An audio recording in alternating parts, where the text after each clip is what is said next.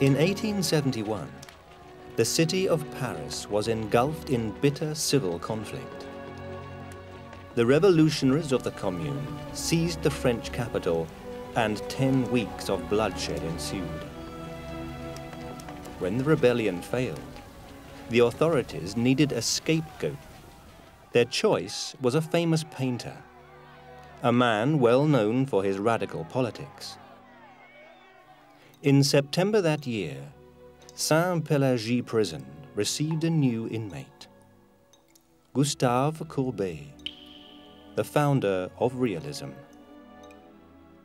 When he began his six-month sentence, Courbet was 52 years old. He had not been directly involved, but his links with the Commune had been strong. This was enough to convict an artist who was radical not only in his views, but also in his work. His paintings of French peasants had caused outrage. Never before had such humble subjects been painted in the manner of high art.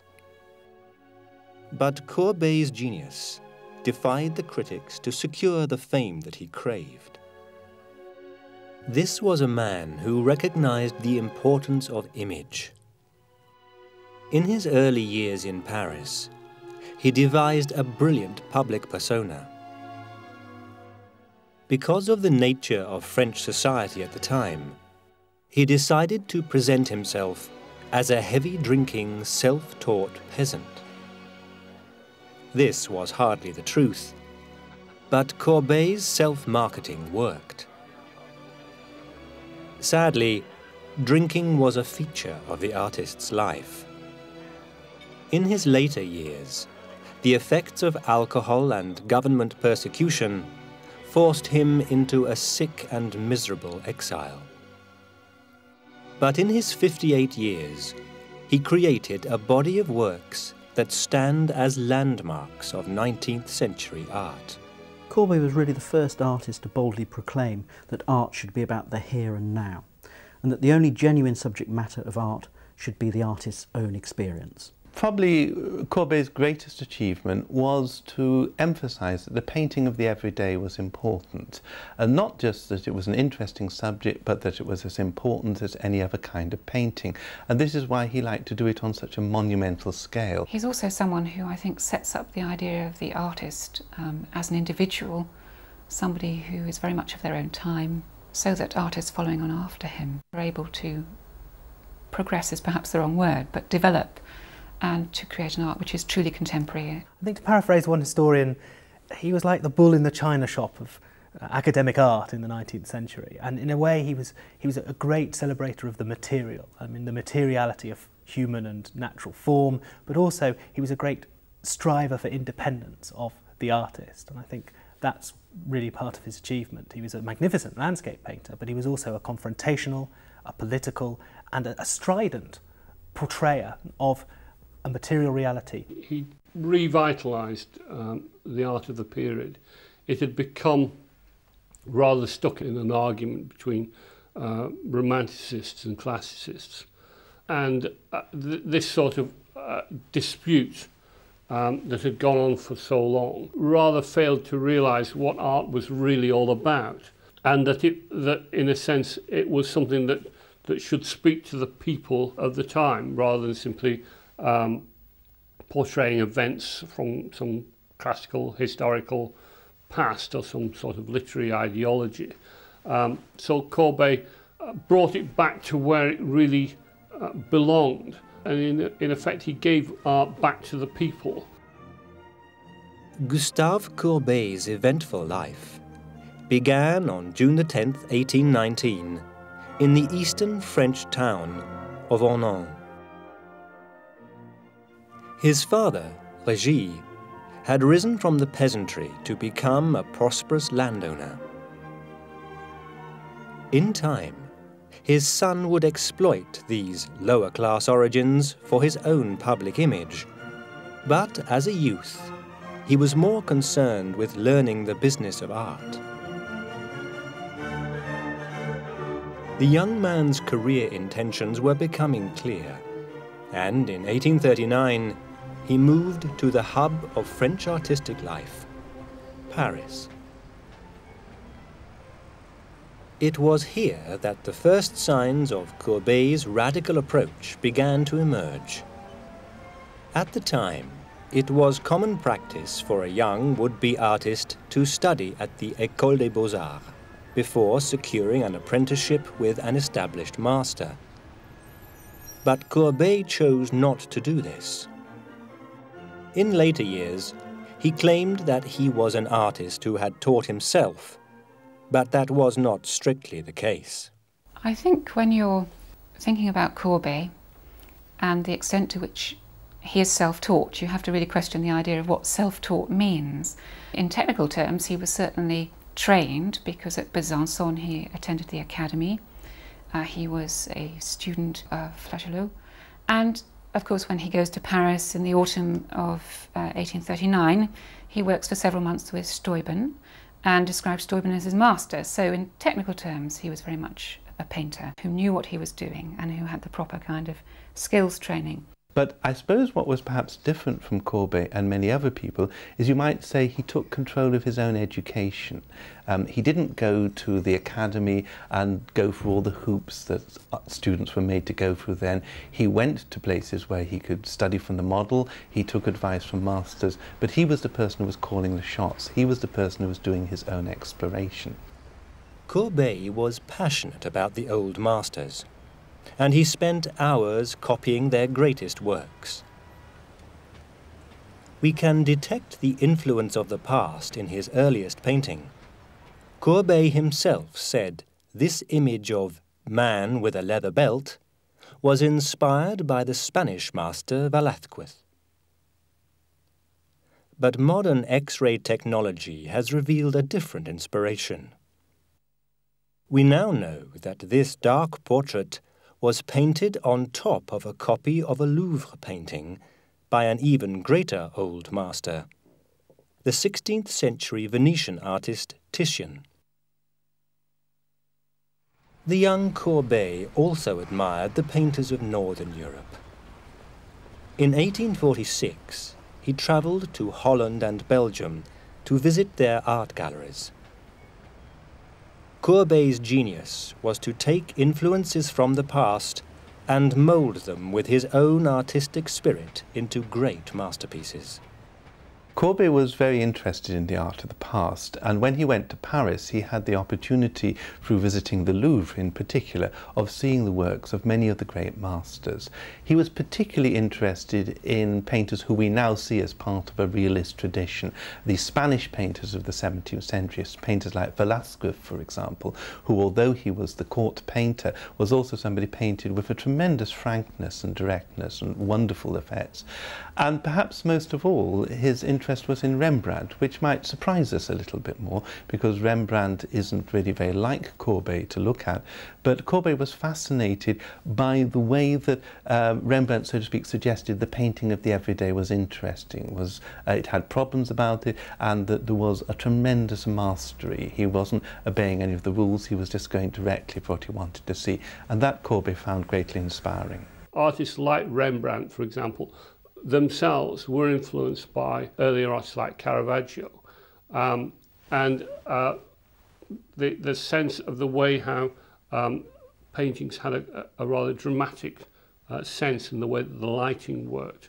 Um, and also the sense of the realism of the figures. All of these artists um, were people who portrayed reality as it was. Um, uh, so that Caravaggio's paintings still have a modern look today. Um, and that sense uh, was what Courbet instinctively reacted to. When Courbet visited Holland, he was 27 years old and still far from established as an artist. He struggled to have his works accepted by the Salon, the annual Paris exhibition that was still the only place to establish a reputation. One of his few paintings that was exhibited there was this image of a man with a black dog. Like many other early Courbet works, this is a self-portrait. the unknown artist's inability to pay for models may explain why he depicted himself so often in his early years. A sense of poverty and struggle can be seen in this self-portrait from 1845. Its title, The Desperate One, only adds to the viewer's impression of a young painter battling against obscurity and ignorance. Courbet suffered many salon rejections early in his career. By the time he was 29, he had submitted 25 paintings and 22 had been turned down. But life was not all grim. Having made his decision to be an artist, his father supported him with regular sums of money. This helped to pay for an excellent social life. Each year he returned to Ornans to enjoy the countryside of his birthplace. He painted his friends and family, including this delightful portrait of his favourite sister, Juliette. Courbet wasn't lonely in Paris either. He began an affair with a woman called Virginie Binet. In 1847, she bore him an illegitimate son, Désir, but the couple never married. There's a way to make an entrance. This is my destiny. It was now a conspiracy of witches. Download Veely today. Courbet also made many friends in Paris's cultural and intellectual community. These included Charles Baudelaire, a well-known poet who sat for this Courbet portrait around 1847. Baudelaire and Courbet were just two of a group of men who met regularly at a night spot called the Brasserie Andler. Others included the anarchist philosopher Pierre Proudhon and the writer Jules Champfleury. At the Brasserie, this group of friends discussed a new approach to the political, intellectual, and artistic issues of the day. In time, their meeting place would become known as the Temple of Realism. The Brasserie Andler was very convenient for Courbet because it's practically next door to his studio. Um, but it did become the meeting place for many writers and also politicised figures who felt that society needed to change via democracy and egalitarianism. It's a very chaotic world. It's a very noisy, argumentative world. It's full of people with very different views um, who are bouncing ideas off one another. And in the middle of it, you have Courbet, this noisy, very uh, opinionated figure. And out of that evolves a particular, I suppose you might call it socialist view, although again it's very varied. One which is very anti institutional, and one which is looking back, I suppose, for something which is natural, which is true. Courbet's role, I think, in the um, Brasserie Andler was one in which he was really a pivotal figure. The Brasserie Andler was a vibrant centre of radical opinion. We might call it a bohemian establishment. It was now that Courbet began to establish his public persona, that of the pipe-smoking, beer-swilling peasant, the radical thinker fighting against poverty to succeed as a self-taught artist. One of the paradoxes about Courbet is he is the great realist painter, so therefore he is the painter about look at what you see, call a spade a spade, be direct. And yet he was also working in a deeply capitalist society and one in which you might say the artist had to promote themselves. He is very much of that generation where artists begin to become what you might call media figures, figures who have a certain persona, have a certain cachet. And in a way you might say, Courbet makes a persona out of the image of the realist artist, of the simple peasant who comes and just does things directly. Some people would say that in fact it was a means of him being able to work within Paris while still remaining apart from it, um, putting a distance between himself and Paris. He talks himself about uh, having a mask which he puts on, uh, which actually hides a, a sadness and a, and a bitterness and, and a sense, I suppose, of loneliness. All artists of, the, of his generation strove to, to, to, if you like, present and represent themselves as artists because artists had come to mean something very different for them than it had for generations before, where art as a kind of skill had been passed on through schools, through academies, through workshops. In the 19th century period, there's a sense in which the artist has to sort of assert a particular identity as artist, an identity which means that he's separate from the bourgeois, from which, let's face it, Courbet and many of his ilk actually emerged, but in a sense not just separate from that kind of rather dominant class, but also superior in a way. Much of Courbet's image bore little resemblance to his real personality. He loved to give the impression that he was a rebel, a scourge of authority. In 1848, he had a chance to prove it.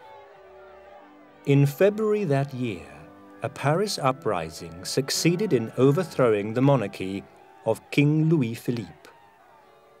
A new republic was proclaimed, and many of the Bohemian community were involved in its creation. Baudelaire took part in the street fighting.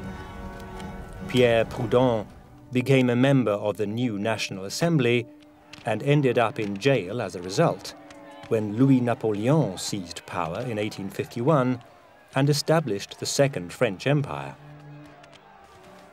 Courbet's contribution to the dramatic events of 1848 was minimal, though he later liked to suggest otherwise. For Courbet, 1848 was far more important for the development of his art. That winter, he created his first great masterpiece a large canvas portraying his father and three of his friends in his hometown. This is After Dinner at Ornans, an image that marked the beginning of Courbet's career as a realist artist. At the time, the official salon favored huge history paintings depicting scenes from the Bible, mythology, or great historical events. A generation before, the Romantic painters had also made paintings of contemporary events acceptable. But a Romantic masterpiece like Delacroix's Liberty Leading the People was a very different kind of painting from After Dinner at Ornans. We cannot imagine this scene happening for real. Courbet's first masterpiece was different. Over eight feet long and six feet high, its proportions were like those of a history painting. But this is just an ordinary scene of four ordinary men relaxing after a meal. At the time, this was seen as an outrage. It is said that Delacroix himself was amazed by the painting. Well, of course, one must first remember that not all critics were outraged by it. Champfleury enjoyed it, of course, perhaps unsurprisingly. But yes, there were critics who were perplexed by it. And part of the central reason for that was that instead of a kind of a nice sort of controlling gaze over the kind of happy merrymaking of the peasants in an interior, we have a mysterious, monumental, wistful scene in which in a way that the viewer is bravely confronted with a reality of which he or she is not particularly aware, a provincial reality, a class reality probably distant from their own. What struck people and outraged them in a sense most of all was its size. It wasn't so much the painting, it was all, everyone praised it. They said it was very well painted, it was very well observed, a terrific realist technique behind the whole thing. Nobody had any problems with that. The problem was the size. It was that a picture like that, just of people sitting around a table, should take on this monumental significance. However, after dinner at Ornans was accepted by the 1849 Salon. The work was purchased by the Republican government, and Courbet was awarded a gold medal. This meant that he could now exhibit what he liked without fear of rejection. His response was a succession of salon paintings that would make his name. At the next exhibition, nine of his works were displayed. Among them, another canvas that provoked an indignant response. This is The Stonebreakers, an image inspired by a real encounter with two roadside labourers some years earlier. Courbet described how he had rarely seen two human beings so miserable as they went about their monotonous toil. Yet this was the reality of daily life for many members of the labouring classes, and the artist's image is a faithful rendition of the bleakness of working life. Sadly, we only have photographs of the work, as the original canvas was destroyed in the Second World War, but we can still gain an idea of the compositional skills which the artist now possessed. I think what strikes us most about the Stonebreakers is that this is not heroic labour. There are plenty of images where these strong, muscle-bound, kind of idealised figures are working. It has a very strong kind of rhythmic effect to it, which increases its power and also the sense that something is going on. Stones are being broken, some physical activity is taking place. That is all brought together in a very beautiful and powerful manner. But these are brutalised figures. Courbet realised that stone breaking was the kind of lowest of the low employment, and that, if you like, within just a few years, the young boy would turn into the old man. Normally, in paintings like this, it, it's given a sort of gloss so that we, the public who goes to the salon and sees these paintings, isn't so fully aware of, of the harsh realities of what life is like for these people. But for Courbet, um, if anything, he would play that up.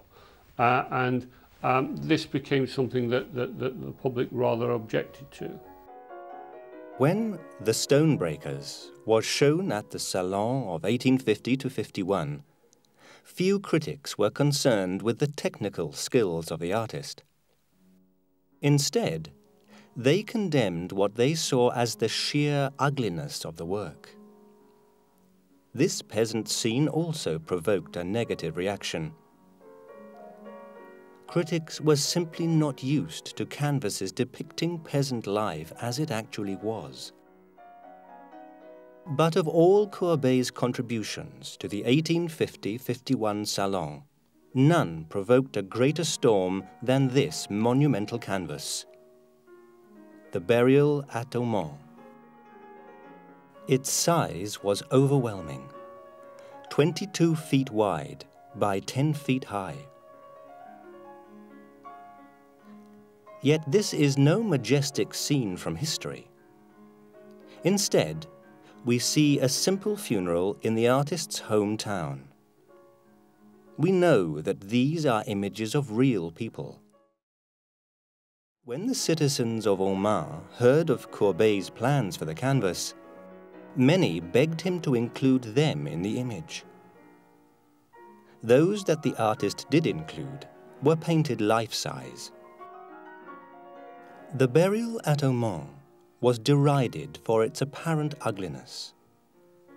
The two beadle figures cut an especially unimpressive figure.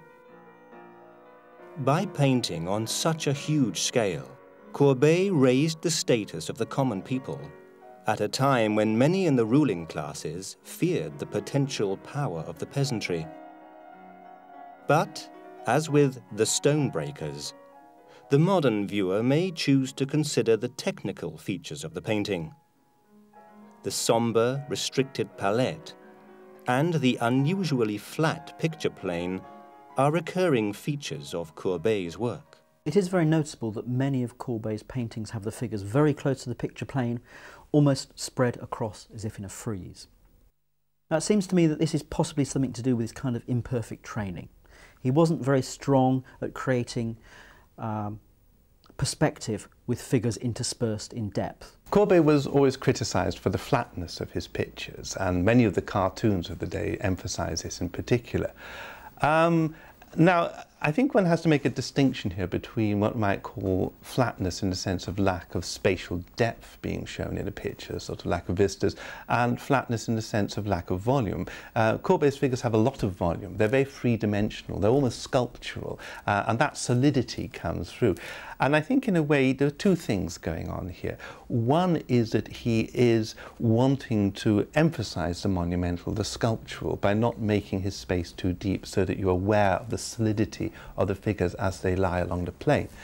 The other is perhaps more of a cultural point. Um, he was very much influenced in popular art. And he was interested very much in the, the, the, the textures of the clothes that they wore, the implements that they used, um, the way they interacted with each other as people. And the landscape itself uh, was simply a background, as far as he was concerned, to that particular image. We may now see this amazing canvas in purely artistic terms, but there is no doubt that it was the artist's political views that intrigued many at the time. Courbet's works were scoured in search of a political subtext. This 1853 Salon exhibit provides an example. The Sleeping Spinner again features the flat picture plane and the limited palette that characterize Courbet's greatest realist work. We can also identify a dark tonality achieved by the artist's trademark use of a reddish-brown grounding on the canvas. We might also admire the tenderness with which Courbet has captured the girl's sleeping features. But why is she asleep? Is it because she is exhausted by her endless labors? Courbet suggested to his anarchist friend, Proudhon, that the spinner was a proletarian, a member of the working class identified in Marx's Communist Manifesto just five years before. Proudhon was always looking for a political message in his friend's work, and in 1855 he would have been keen to search for radical meaning in this enormous and enigmatic canvas. A Courbet image that may be his finest masterpiece, and which reveals much about the man and his work. The Artist's Studio.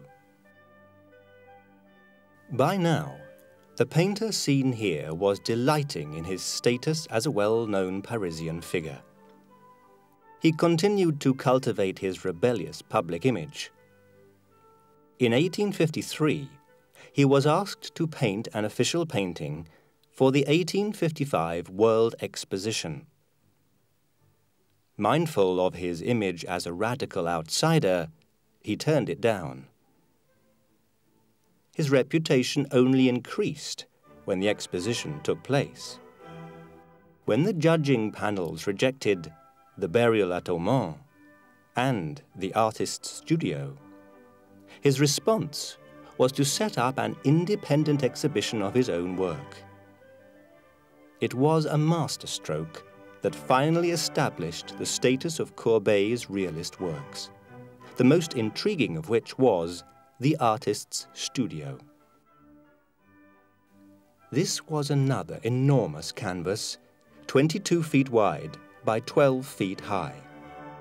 It shows Courbet in his studio, painting a landscape as a nude model looks on. On either side are two large groups of individuals. Famously, the artist described these on the right as being his friends and family. In his own words, those who live on life. To the left are a far darker group, those who live on death. To this day, the precise identity and meaning of many of these figures is debated. The work as a whole is equally enigmatic. Courbet gave it the ambiguous subtitle of A Real Allegory and challenged viewers to work out what it meant. New interpretations of the painting are still being made today, but there can be no doubting the value of this remarkable work of art. The studio is literally a great painting because it is a, a very, very large work. It's a very bombastic work, I think, in a way. It's self proclaiming, but necessarily so because Courbet, by that stage, was very concerned with this idea of the promotion of realism as he understood it. By about 1855, I think Courbet is becoming dissatisfied with always being called a realist. So he diversifies. The real title of the artist's studio is A Real Allegory Summing Up Seven Years of My Artistic Life. Now, if you think about it, realism and allegory are incompatible. One's about the present, the here and now, the other's about fantasy. So I think Courbet is trying to disentangle himself with being too closely connected with realism and painting a subject about him and his imagination. Some of the most significant figures in Courbet's life can be seen in The Artist's Studio. Baudelaire on the far right. His sister embracing an unknown lover. Proudhon, the anarchist. We can also see Alfred Bruyas, a wealthy man who became Courbet's most reliable patron. By the time this great canvas was displayed, Bruyas had already purchased The Sleeping Spinner, as well as this canvas, another image which shocked conservative critics at the Salon of 1853. Perhaps more than any other Courbet painting, The Bathers was perceived as shockingly ugly. Delacroix was critical of the work, though he was more concerned with the lack of meaning in the canvas than the obese, unidealized form of the central female figure. But the merits of Courbet's realism were now increasingly recognized. In 1854, he painted The Winnowers, another peasant image from the artist's time. Courbet declared his intention to record the manners, ideas, and aspects of the age as I saw them, to create a living art. Courbet's idea of living art was actually showing the reality of everyday existence by looking at the humble lives of country folk and also occasionally townspeople. Looking back on it now, we can see that it, was, in a sense, um, a pivotal movement. Uh, uh, if we hadn't had Courbet, a lot of these other later art movements uh, simply wouldn't have really been able to get established. Courbet was often prepared to use existing compositions in the creation of his work. The nude, in the artist's studio, was derived from this early photograph, while the layout of The Winnowers is believed to have been taken from the Japanese prints popular at the time. But this is an image that may also reveal something of the artist's personal life. The women here have been identified as two of his three sisters, while the boy may be his son, Désir. If so, it was the last time he appeared in a painting by his father. By the time Courbet completed this canvas in 1855, his mistress, Virginie Binet, had left him and married another man, taking her child with her. Gustave Courbet would never marry. In one of his most famous remarks, he described a married man as being a reactionary though he did express some regret at not being able to see his son again. But he was certainly not short of female company. Once, while on holiday, he claimed 2,000 women had asked to be painted by him. He enjoyed affairs with women like Madame Bourreau, a married woman who sat for this Courbet portrait in 1863. As his career developed, he increasingly turned to the female nude for subject matter, and images like The Woman in the Waves are admired for their warm, natural sensuousness. But in his letters, Courbet spoke of women as being a distraction from the serious business of life, his work. I mean, there was no question that he, he, he liked women. He uh, was sexually attracted to women and found them sexually attractive, and that he produces these very voluptuous, uh, sensual, actually very sexual pieces, very obviously almost pornographic paintings. Some have seen this as him kind of trying to shock a bourgeois public, but in a sense it also betrays, as I think as feminist scholars have seen, a certain amount of anxiety. Courbet, they see him as somehow sort of sharing some of the anxieties, the fear of women, which dominated a basically patriarchal society and which actually is the flip side of patriarchy. One might say that he was profoundly in love with himself and perhaps one might say he was too much in love with himself to share himself with anyone else and perhaps this means that he never has that kind of sharing relationship. What is clear is that Courbet's single life was full and stimulating. From the early 1850s onwards, he travelled widely across Europe, promoting exhibitions of his own work, as well as finding time for recreation. In 1858 to 59, he spent the winter in Frankfurt, where he particularly enjoyed stag hunting. The inspiration for this dark-toned canvas, which was a huge success at the Salon two years later. In 1861, when this canvas was shown, Courbet was in the prime of his life. That year he found time to set up a teaching studio of his own in Paris. The advice he gave his students on the purpose of painting can be seen as a summary of his artistic beliefs.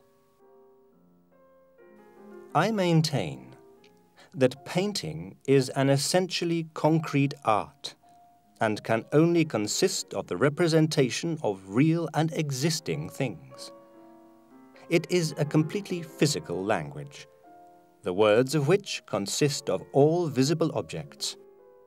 An object which is abstract, not visible, non-existent, is not within the realm of painting.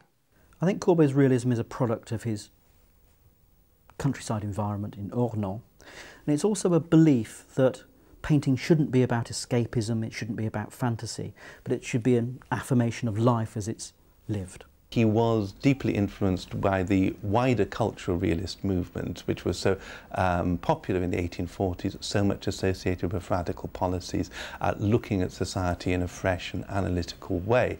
And in the 1850s, um, when he's becoming a more established figure, becoming a bit more popular, he, perhaps he needs to show that he is somebody who has a theory too. So he turns it into a theory. And I think in some ways you might say it was a way of developing his own role, his professional role as a painter. Courbet, when asked to explain his kind of realism, um, would come out with statements like, well, if you want me to paint an angel, show me one.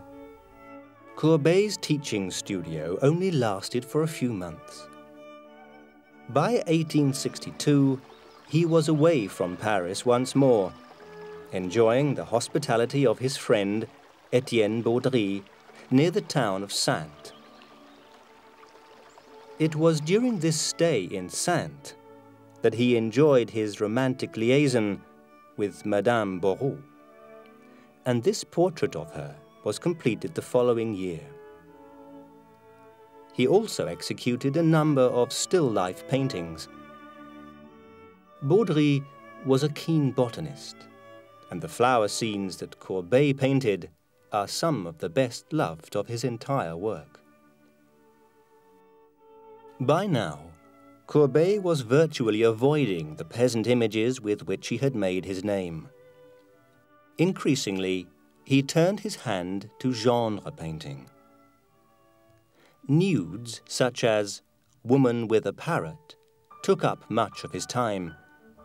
It was a huge success at the 1866 Salon, and surviving letters prove that the artist was ecstatic with the acclaim his work received. He also painted landscapes, and his portrait commissions included this striking 1865 image of Monsieur Nodler the Elder.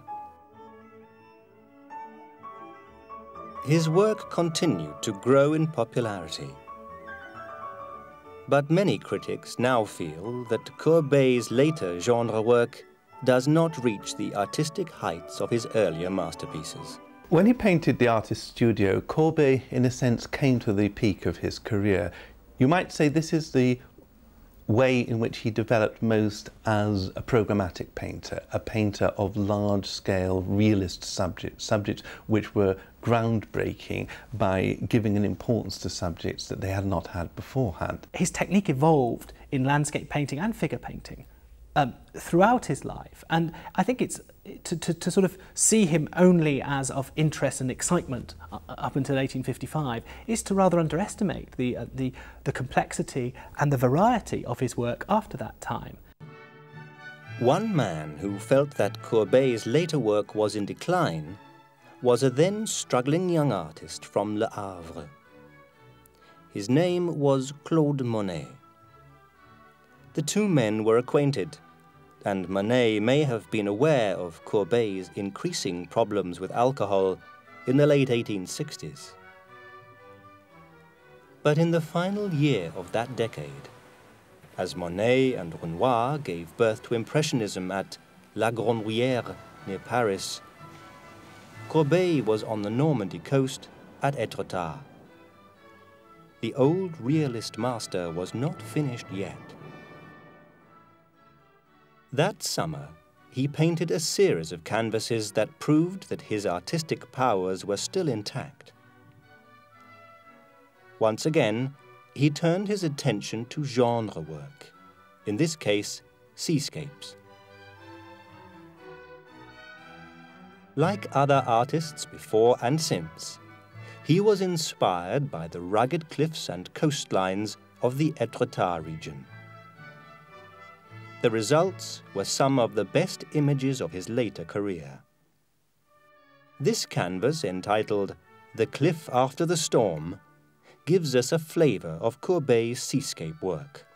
Cliffs at Etretat had this very famous geological feature, this rock arch, and Courbet captures that, but he also captures the effects of the weather, so the change um, in the weather after this great storm and the kind of cleansing effect that the good weather's having on the environment. You could be standing on that beach, you could be sensing the, the sea air, you could be hearing the sound of the waves, because you are brought close up to the sea itself, and that is the main subject of the painting. You're not given a little narrative scene to lead you in. You don't need that because the power and the force of nature is something which he is he's dealing with directly. As the 1870s dawned, the painter of this calm yet dramatic scene was a 50-year-old man of wealth and fame.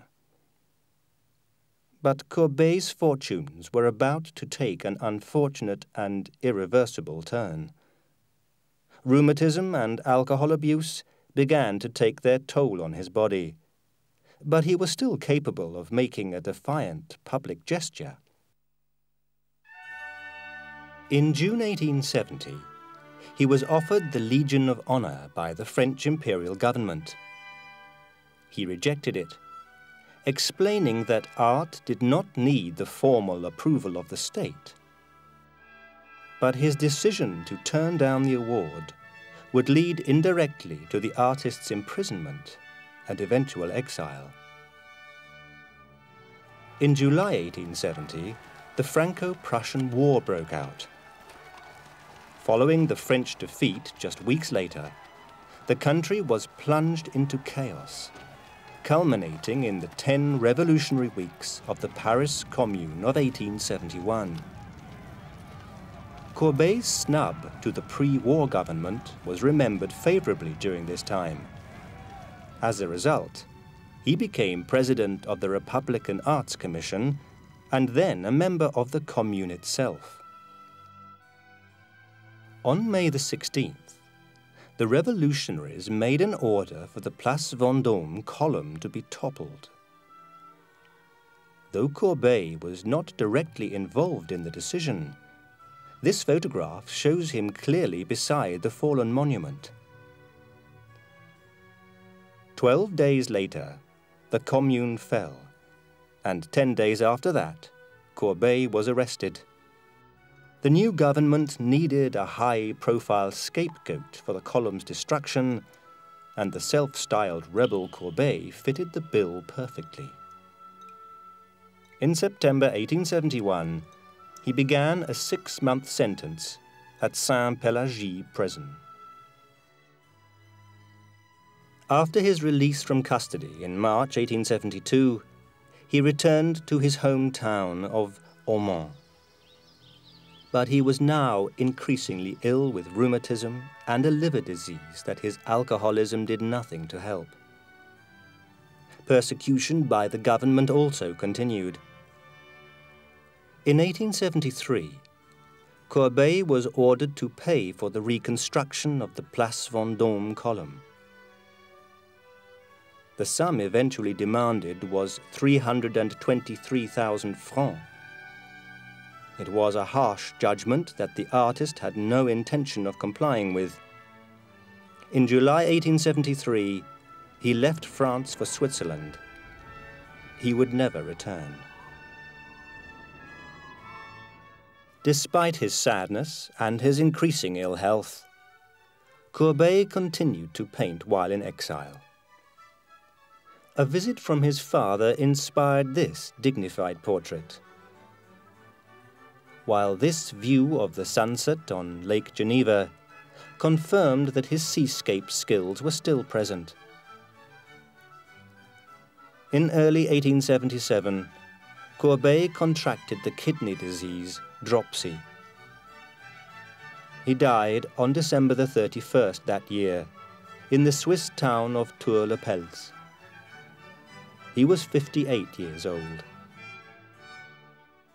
I think those who have wished to explore modern art in all its diversity and all its new uh, political, ideological and social concerns have seen Courbet as an extremely important artist, someone who ran against, so counter to academic convention, who in a way smashed up the ground and, and, and allowed the rebuilding of painterly tradition and progress on the ruins of the academic system, if you like, by, by flouting the hierarchy of genres, by confronting his viewers. In many ways, you could almost say that modern art starts with Courbet because of his insistence on the artist's experience as being law. It's not just a matter of what you do, it's a matter of where you do it. And I think what, in a sense, makes Courbet the first of the moderns is not just that he is the realist innovator, somebody who brings a new dimension to paint, uh, but he does it in Paris. He does it centre stage. He does it in a place where it's not just going to lead to a new kind of painting, but it's going to change the practice of painting altogether.